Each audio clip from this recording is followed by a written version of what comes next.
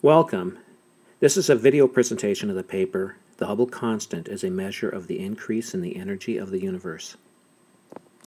What if space was not a vacuum, but actually existed, composed of discrete units, atoms of space?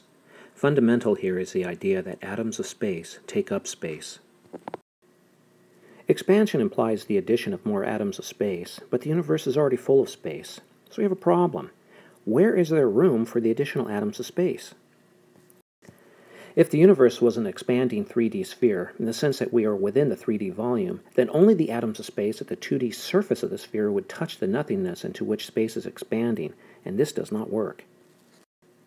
A 3D sphere has a two-dimensional surface area. Let's take a cross-section and look inside. This drawing is certainly not to scale, as the number of atoms of space lying along a diameter would be almost unthinkably large, their size being very small, and the observable universe being very large, with a radius of over 92 billion light years. If the universe was an expanding 3D sphere, and the universe was full of atoms of space, we'd have great difficulty in adding more. There are a lot of atoms of space that have to move over and make room for the new.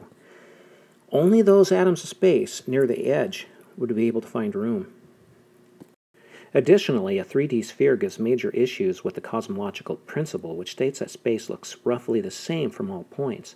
Those galaxies near the edge would see a lopsided distribution of galaxies compared to those more centrally located. The universe as a three-dimensional surface volume of a four-dimensional sphere solves these problems. In this diagram, we have reduced a four-dimensional sphere to a two-dimensional view, and the blue represents the 3D surface volume. The center of the hyperverse is hollow and must be for the same reasons given why a 3D sphere cannot be the universe.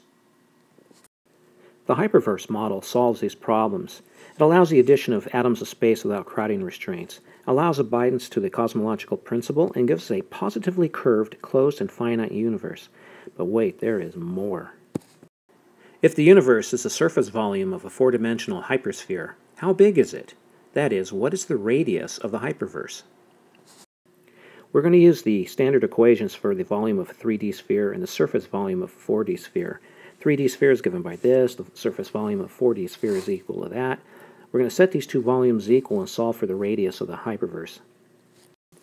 Doing the math tells us that the radius of the hyperverse is equal to the cube root of 2 over 3 pi times the radius of the observable universe. The radius of the observable universe is equal approximately to 46.25 billion light years. We can take this value and plug it into the equation. The hyperverse radius comes to 27.58659 billion light years. So how fast is it expanding? To see how fast the hyperverse is expanding, we will divide the radius of the hyperverse by the age or time that it has been expanding and the result is 1.999 light years per year. Light travels one light year in a year. The hyperverse radius is expanding at two light years per year. That means the hyperverse is expanding at twice the speed of light, or 2c. Every point in the universe is on the surface of the hyperverse, and therefore every point in space is expanding into the fourth dimension at twice the speed of light. U, I, everything everywhere is advancing radially at 2c. Consider that in two seconds, light could travel more than one and a half times the distance to the moon. In just one second, we have traveled that far into the fourth dimension. We are where we are at for the most tiniest of a moment. Can we feel this? Yes.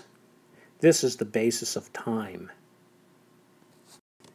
Notice, too, that the speed of light is a function of the rate of radial expansion. Light only moves within the universe, or surface of the hyperverse. We have two radial steps for every step that light takes within the universe. It's two up and one over. The 2c expansion rate is not a violation of relativity. Relativity applies to motion within the universe. What we're talking about here is motion of the entire universe. Let's look at how fast the circumference of the observable hyperverse is growing. The rate of change of the circumference as a function of the radius is 2 pi. Rearranging, we find that delta c sub h is 2 pi times delta rh, but we know that the rate of change of the radius is 2c. Substituting that in gives us 2 pi times 2c. Dividing delta c sub h by the circumference of the hyperverse gives us the rate of change of the circumference for each point on the circumference.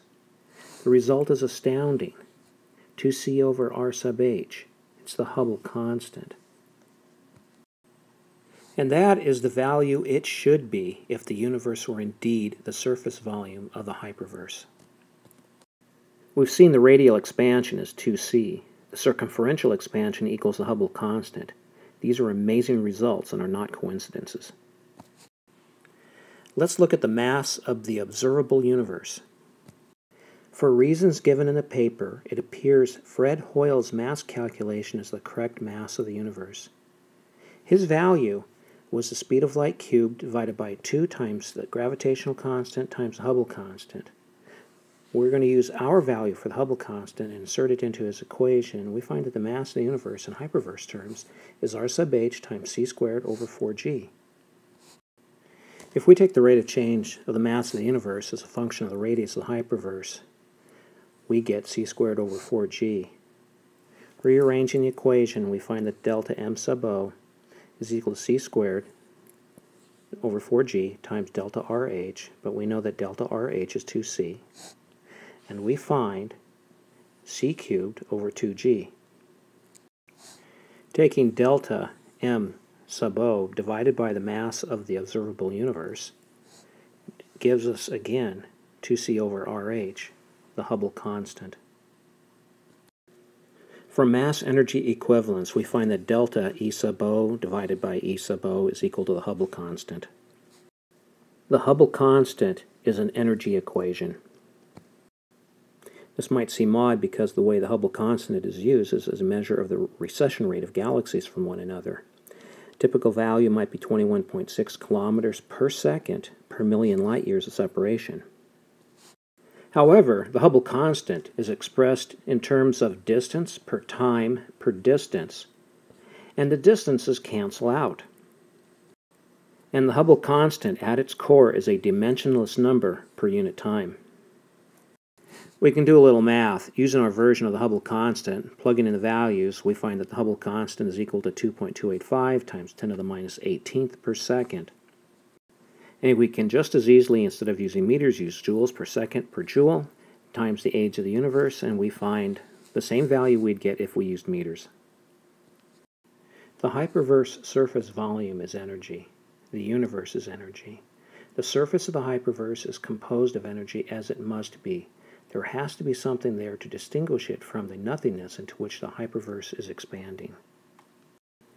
So far, the hyperverse model has given us a positively curved, closed, and finite universe, room for the addition of more atoms of space, compliance with the cosmological principle, a radial expansion of 2c, a basis of time, a circumferential expansion equal to the Hubble constant, and it tells us the universe is composed of energy. We've not talked about spin yet. That topic comes up in the paper about time.